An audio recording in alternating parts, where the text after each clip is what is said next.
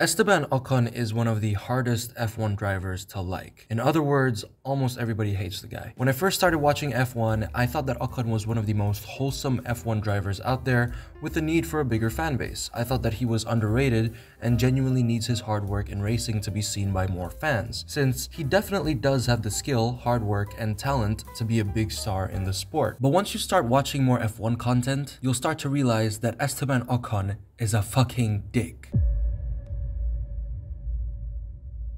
A lot of F1 fans find it very difficult to like Ocon because the guy comes across as egotistic. We can see this especially with how Esteban treats his teammates compared to other drivers. In Saudi Arabia 2022, Esteban defended like an absolute lion.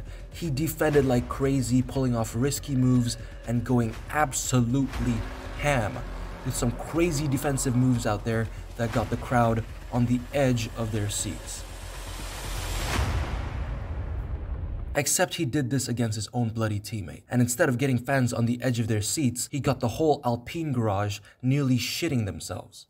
When Fernando Alonso and Ocon were teammates in 2021 and 2022, Ocon would always defend like an absolute pit bull against Fernando, but when another car comes across, Ocon turns into a chihuahua. We can see this again in Saudi Arabia after Ocon and Fernando kept battling it out and Ocon doing some crazy defending, but once Valtteri Bottas came close to Ocon, he literally passed through like he was playing against zero AI difficulty.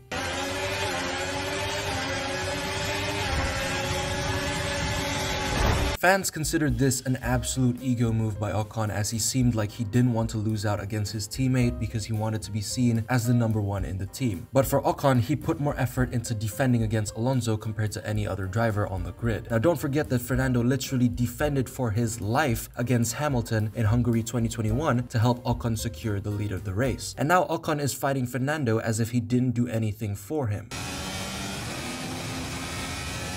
I saw a defense like.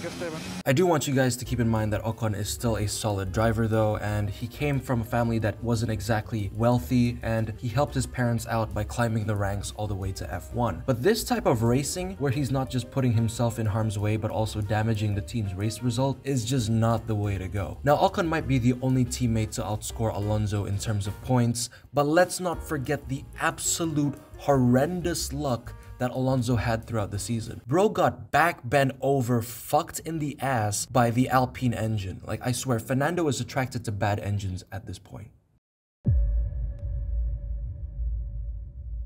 Now, Esteban is not just disliked through his ego, but also through his behavior. In the 2023 season, Esteban and Alonso got into a collision in SQ1 of the Sao Paulo Grand Prix.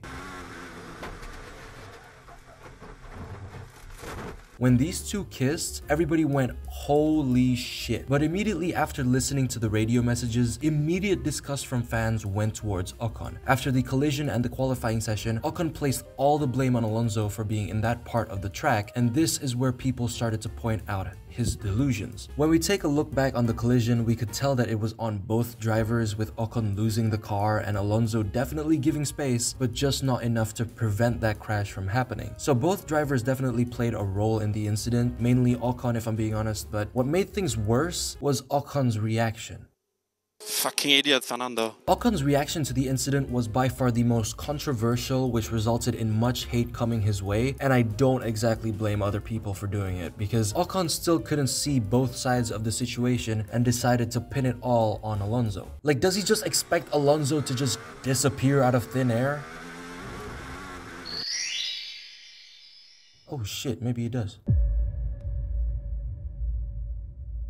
We can officially agree that no matter what happens in the F1 community, Esteban is getting a 5 second penalty. Committing tax fraud, 5 second penalty for Ocon. You submitted your schoolwork late, 5 second penalty for Ocon. Ferrari blows up Charles's engine again, 10 second penalty for Ocon. If you're genuinely out of the loop, Esteban got like 3 penalties during the Bahrain Grand Prix. It was like 30 seconds longer. I don't know how the fuck he fucked up so bad, but that was the saddest and the funniest shit I've ever fucking seen in F1 history. Apart from Alonso's forehead picture, of course. Now with all of this penalty stuff aside, Ocon has literally turned into a meme.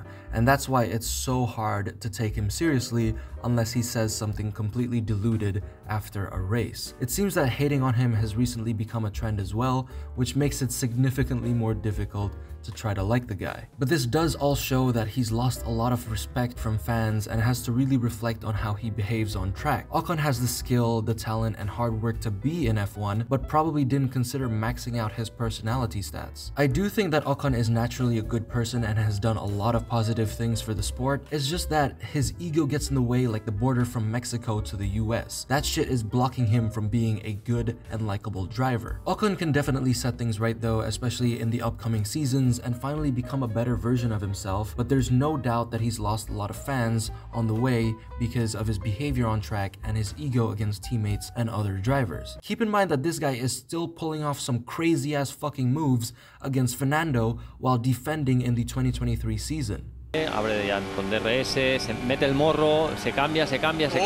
So with all of the points that I've stated throughout this video which might be deemed as arguable, we still can confidently, surely, and especially agree on a 5 second penalty for Ocon.